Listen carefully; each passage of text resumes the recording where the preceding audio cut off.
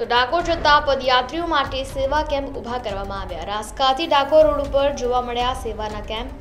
નાસ્તા, ચા, શરબત અને મેડિકલ સેવાઓના આ કેમ્પ ઊભા કરવામાં આવ્યા છે. તો રાસકાથી ડાકોર સુધીના માર્ગે જાય છે. જય રણછોડના નાદ સાથે ગુંજી ઉઠ્યો છે આખો રસ્તો. ત્યારે રણછોડ રાયના ભક્તો રાજા રણછોડના નાદ સાથે પગપાળા દર્શને નીકળ્યા છે. ગામ કેલિયાવાસણા તાલુકો ધોળકા, જિલ્લો અમદાવાદ.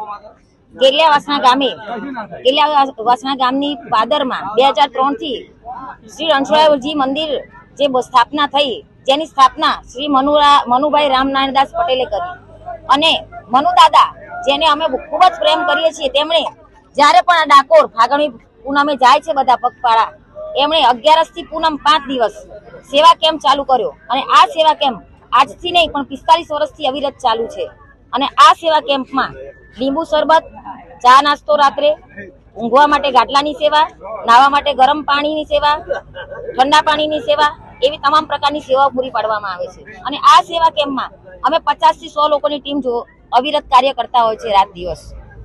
અને બીજી વાત કહીએ તો આ સેવા કેમ્પની એક મુખ્ય ખાસિયત છે, જ્યારે અમે સરકાર જો પરમિશન લેવા જઈએ છીએ કે આ સેવા કેમ્પ ચાલુ કરીએ, તો પ્લાસ્ટિક ઉપર પ્રતિબંધ છે. તો અમે એનું પૂર્ણ રીતે પાલન કરીએ છીએ. અમે પ્લાસ્ટિક સિંગલ યુઝ પ્લાસ્ટિક વાપરતા નથી. તમે અત્યારે જોશો તો શરબત પર અમે જે પ્લાસ્ટિકના ગ્લાસ છે એ ધોઈ અને પછી એને વાપરે છીએ. એટલે સિંગલ યુઝ પ્લાસ્ટિક અમે વાપરતા નથી. જ્યારે બીજા કેમ્પમાં પ્લાસ્ટિક વપરાય છે. પણ હું સરકારશ્રીને એવું કહું છું કે આ નિયમનું કડક કડક રીતે પાલન થવું જોઈએ.